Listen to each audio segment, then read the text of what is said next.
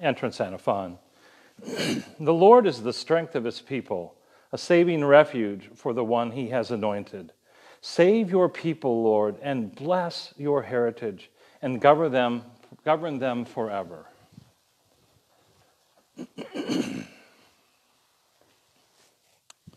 Welcome, everyone, to the celebration of this Holy Eucharist. I would invite you to gather your praise and your thanksgiving and adoration to offer to the Lord, and also any prayers or intercessions that you want to bring to Him. Along with your intercessions, intentions, my uh, intention for today is for Diana Sinclair. In the name of the Father, and of the Son, and of the Holy Spirit, the grace of our Lord Jesus Christ, and the love of God, and the communion of the Holy Spirit be with you all. Brothers and sisters, let us acknowledge our sins and so prepare ourselves to celebrate the sacred mysteries. Lord Jesus, you raise us to life in the Spirit. Lord, have mercy. Lord Jesus, you bring pardon and peace to the sinner. Christ, have mercy. Lord Jesus, you bring light to those in darkness. Lord, have mercy. May Almighty God have mercy on us, forgive us our sins, and bring us to everlasting life. Amen. Let us pray. Grant, O Lord, that we may always revere and love your holy name, for you never deprive of your guidance those you set firm on the foundation of your love. Through our Lord Jesus Christ, your Son, who lives and reigns with you in the unity of the Holy Spirit, one God forever and ever.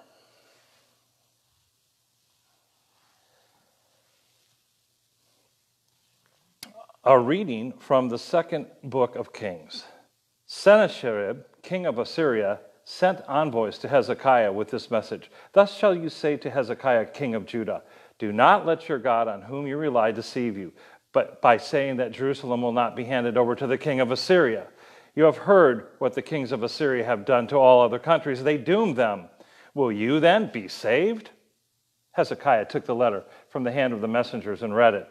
Then he went up to the temple of the Lord, and spreading it out before him, he prayed in the Lord's presence O Lord, God of Israel, enthroned upon the cherubim, you alone are God over all the kings of the earth. You have made the heavens and the earth. Incline your ear, O Lord, and listen. Open your eyes, O Lord, and see. Hear the words of Sennacherib, which he sent to taunt the living God. Truly, O Lord, the kings of Assyria have laid waste the nations and their lands and cast their gods into the fire. They destroyed them because they were not gods, but the work of human hands, wood and stone. Therefore, O Lord our God, save us from the power of this man, that all the kingdoms of the earth may know that you alone, O Lord our God. Then Isaiah, son of Amoz, sent this message to Hezekiah Thus says the Lord, the God of Israel, in answer to your prayer for help against Sennacherib, king of Assyria, I have listened. This is the word the Lord has spoken concerning him. She despises you, laughs you to scorn, the virgin daughter Zion. Behind you she wags her head, daughter Jerusalem. For out of Jerusalem shall come a remnant, and from Mount Zion survivors. The zeal of the Lord of hosts shall do this. Therefore, thus says the Lord concerning the king of Assyria He shall not reach this city, nor shoot an arrow at it, nor come before it with a shield, nor cast up siege works against it. He shall return by the same way he came without entering the city, says the Lord. I will shield and save this city for my own sake and for the sake of my servant David. That night, the angel of the Lord went forth and struck down 185,000 men in the Assyrian camp. So Sennacherib, the king of Assyria, broke camp and went back home to Nineveh. The word of the Lord.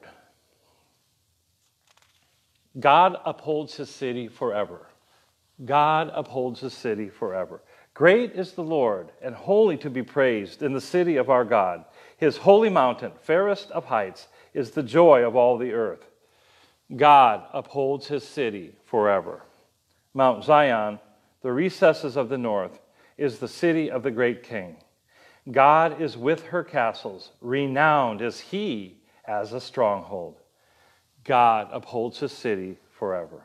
O God, we ponder your mercy within your temple. As your name, O God, so also your praise reaches to the ends of the earth. Of justice, your right hand is full.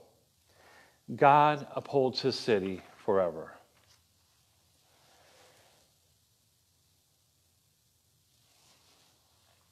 Alleluia, Alleluia, Alleluia, Alleluia, Alleluia, Alleluia.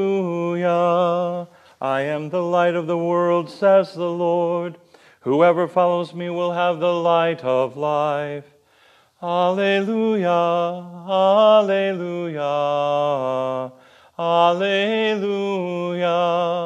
The Lord be with you. A reading from the Holy Gospel according to Matthew.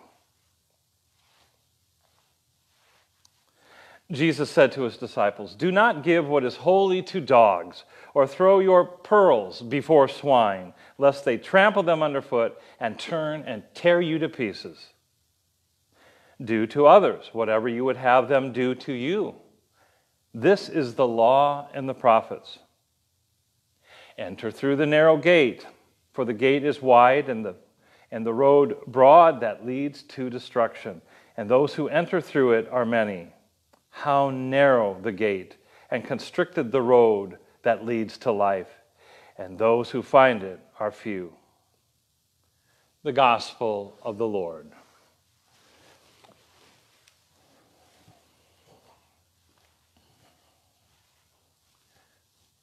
the good Lord taught me a lesson early on in my priesthood. I was in my first assignment in Carroll, and I uh, was taking the Eucharist around to people. Uh, and there was one place where you would go into these apartments, and it had an elevator. And I got into the elevator, and just as I got into the elevator, um, this uh, other guy just kind of snuck on the elevator.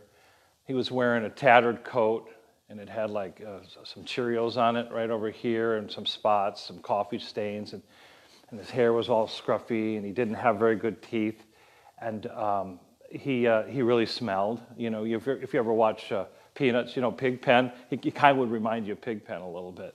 And I remember um, on be, having the Eucharist with me and being on the elevator as the doors closed, and I remember my initial human reaction was to just kind of back up as far as I could and kind of hold my breath a little bit. But I had one of those nice little images in the, the Life in the Spirit seminars. I'm talking that one of the gifts the Lord can give any of you is a gift to kind of see images in your head. It's no big mystical experience, it's just a simple gift of the Holy Spirit. Where uh, I, I, in my mind's eye, the Lord gave me a little, little image of this guy reaching up to the top of his head and unzipping a beggar, poor, smelly beggar pigpen suit. And he, and he unzipped it and out from this suit that he unzipped, this, I'm, just, I'm just seeing this in my head as I'm in there in the elevator with him, comes this most glowing, gorgeous, glowing, beautiful, holy, attractive, strong person and individual. And the Lord taught me a lesson that day, and early on in my priesthood.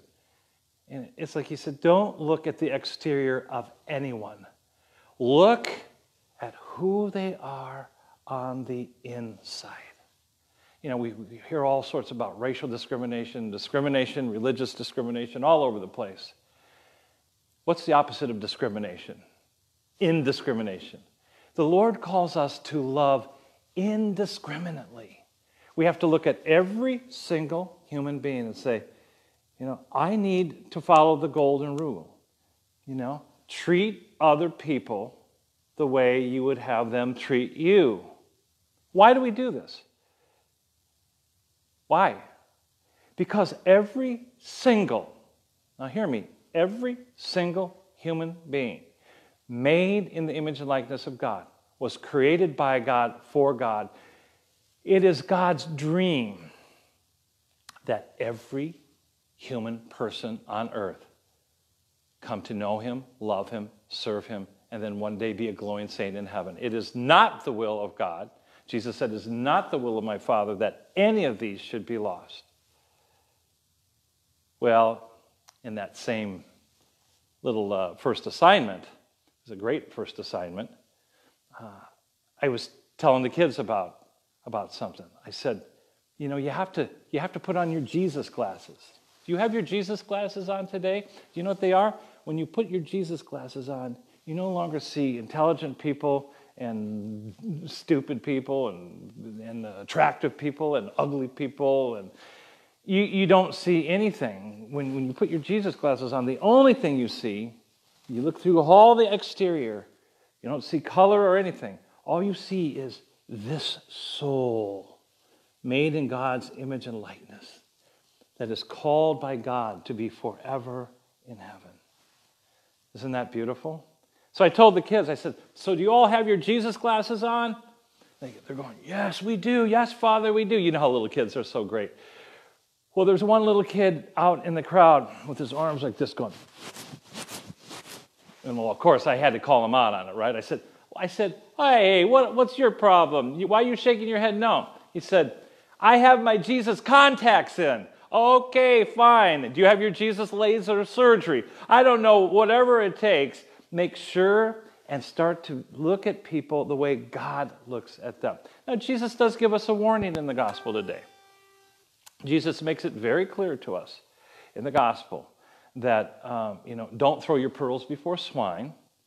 And, uh, you know, you don't have to just put yourself out there to be trampled because there, there, are, there are some people in the world that are pretty mean. Now, let me just talk about this. You ever you see a person, you go, oh, that person, that person is a living saint. Father Peter, Father Peter is a living saint. He's such a kind, loving, joyful, good guy. He's a living saint. But you know what? Some of the mystics have told us that when somebody is unredeemed and has emptied out the Holy Spirit and given themselves over to the, the devil, people can become living devils too. Really, really, almost literally possessed living devils. But you know what the good news is? Even if somebody is a living devil, as long as they can draw breath, there is a possibility for them to repent and turn back to the Lord and be filled with the Holy Spirit and make their way to heaven. That's why the church is against the death penalty, because, because we, we don't want to take somebody's life before, because they might be able to have, at that last moment when they're 93 in prison, say, Oh, now I get it. Jesus, I'm going to follow you. I believe in you, God. So today's lesson is a very strong lesson, it's a very clear lesson that we need to love indiscriminately. We don't have to place ourselves in danger, but we have to stop being averted from people that aren't like us and start loving with the heart of Christ. And if we do that, we do that. You know, people don't change so that they can be, uh, be loved. Rather, they're loved so that they'll change and grow. Love has the power of creative transformation. Love yourself first enough to accept the Lord and obey Him, and then you will be able to love others and you will lead them to Himself.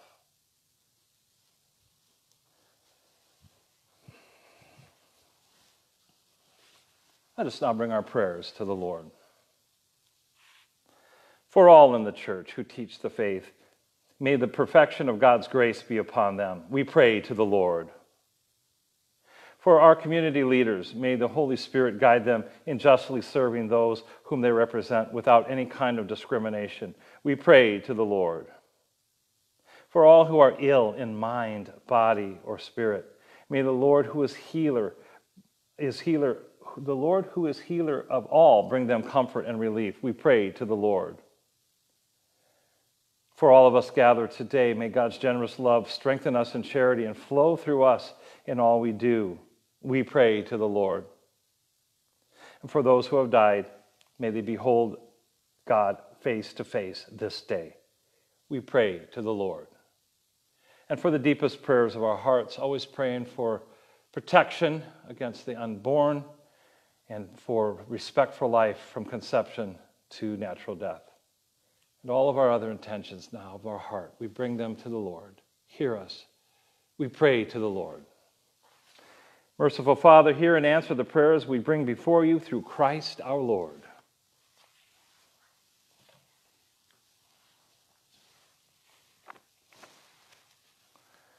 Blessed are you, Lord God of all creation, for through your goodness we have received the bread we offer you, fruit of the earth and work of human hands, it will become for us the bread of life.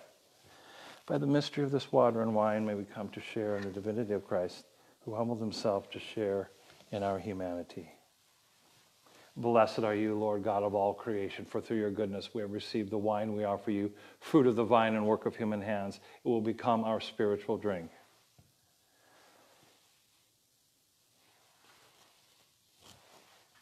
Wash me, O Lord, from my iniquity. Cleanse me from my sins. Pray, brothers and sisters, that my sacrifice and yours may be acceptable to God the Almighty Father.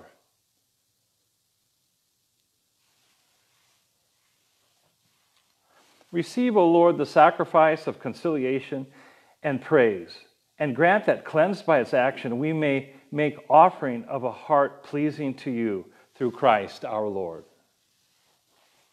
The Lord be with you. Lift up your hearts. Let us give thanks to the Lord our God. It is truly right and just, our duty and our salvation, always and everywhere, to give you thanks, Lord, Holy Father, Almighty and eternal God. For just as through your beloved Son you created the human race, so also through him with great goodness you formed it anew. And so it is right that all your creatures serve you, and all the redeemed praise you, and all your saints with one heart bless you. Therefore, we too extol you with all the angels, as in joyful celebration we acclaim Holy, holy, holy Lord God of hosts, heaven and earth are full of your glory. Hosanna in the highest. Blessed is he who comes in the name of the Lord. Hosanna in the highest.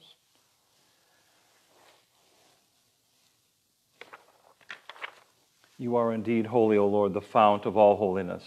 Make holy, therefore, these gifts, we pray, by sending down your Spirit upon them like the dewfall, so that they may become for us the body and blood of our Lord Jesus Christ. At the time he was betrayed and entered willingly into his passion, he took bread and giving thanks broke it and gave it to his disciples, saying, Take this, all of you, and eat of it, for this is my body, which will be given up for you.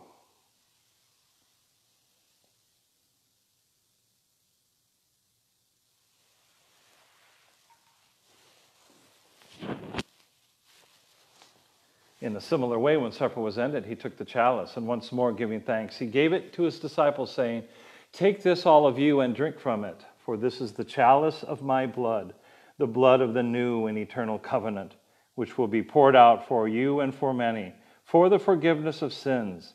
Do this in memory of me.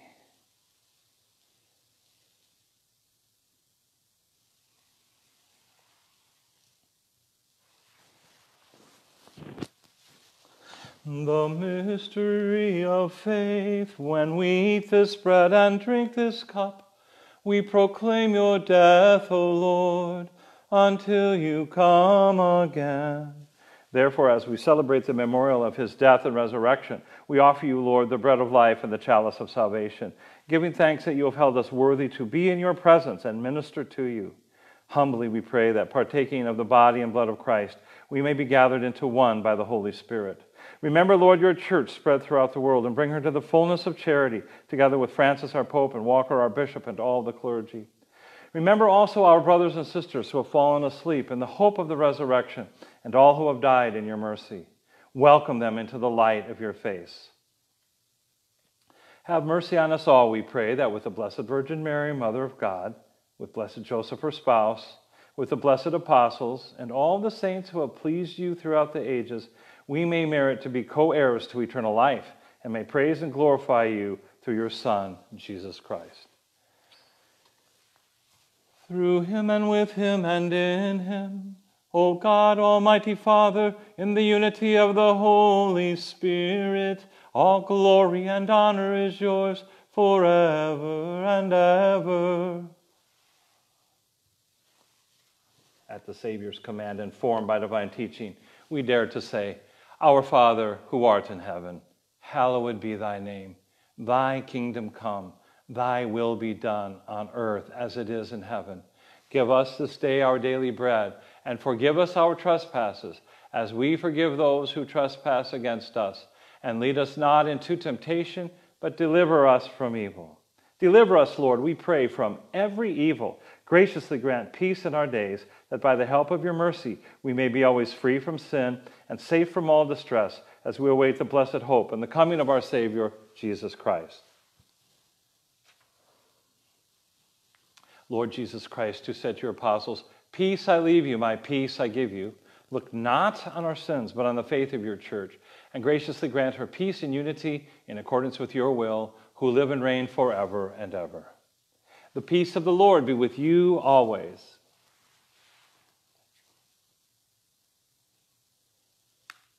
Lamb of God, you take away the sins of the world. Have mercy on us. Lamb of God, you take away the sins of the world. Have mercy on us. Lamb of God, you take away the sins of the world. Grant us peace.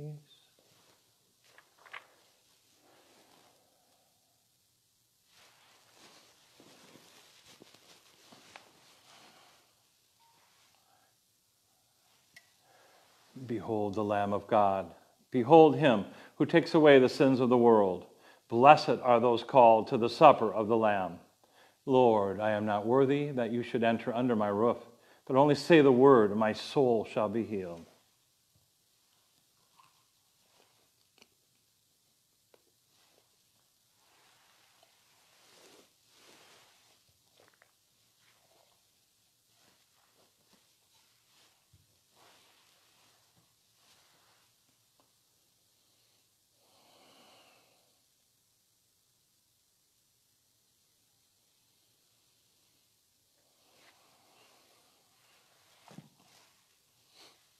Communion antiphon.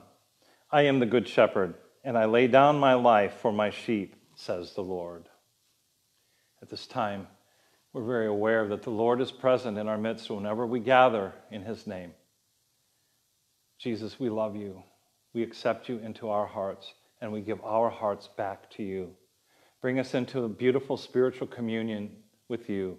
And through our communion with you, bring us into union with the Father and the Holy Spirit into the beautiful and warm embrace of the Holy Trinity. Amen.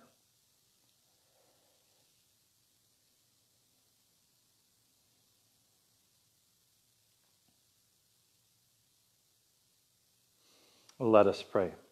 Renewed and nourished by the sacred body and precious blood of your Son, we ask of your mercy, O Lord, that what we celebrate with constant devotion may be our sure pledge of redemption through Christ our Lord.